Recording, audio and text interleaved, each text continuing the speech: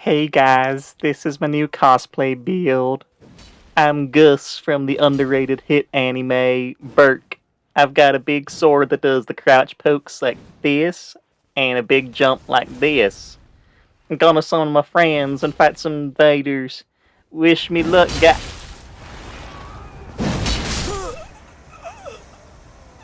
Colossal Swords have had a rough time with Elden Ring. From being universally hated for the teabag lunge, the awful aim punch, and numerous balance patches that caused a good deal of the folks who used them to jump ship to the Serpent Hunter, it's been a wild ride. But through all the mess, Colossal Swords have endured, snorting the thin fine line between being pretty solid weapons and just being meme fuel.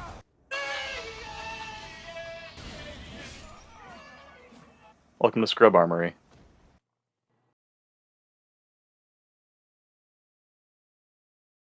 Colossal Swords have some of the highest single-hit damage numbers in the game, almost as much as Bleed Noggies.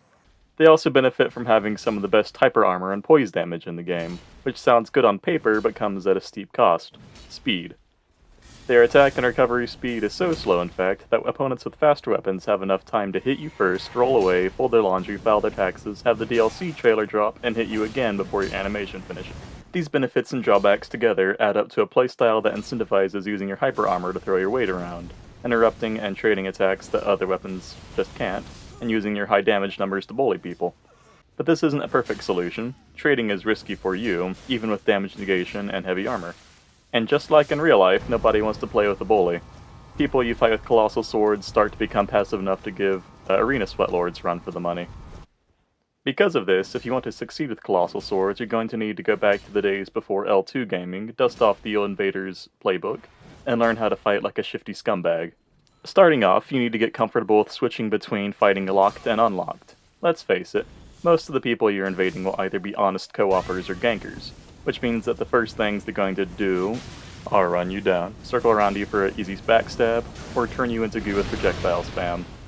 Getting tunnel vision from the lock-on mechanic is practically asking for a wizard or a jump attack spammer to put you in the forever box.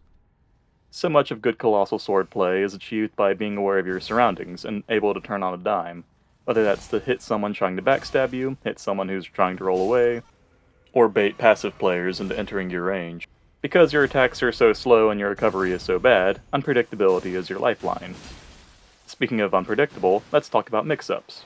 A mix-up is just any follow-up attack that requires a different defensive response than what is normal or expected.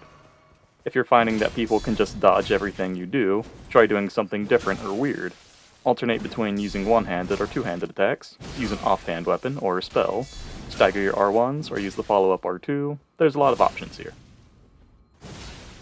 Playing Unlocked is also key to kiting, Kiting, for those of you who actually touch grass every now and again, is a strategy where you try to move your enemies in a way that's more convenient for you. In our case, try grouping your enemies together in a cluster to get the most out of your damage. Usually this is achieved by some fancy maneuvering while unlocked to get two or three party members in front of you, then hitting them with an attack or an Ash of War. After taking so much damage, they're either going to be dead or looking to heal, which gives you options to either pursue them or recuperate.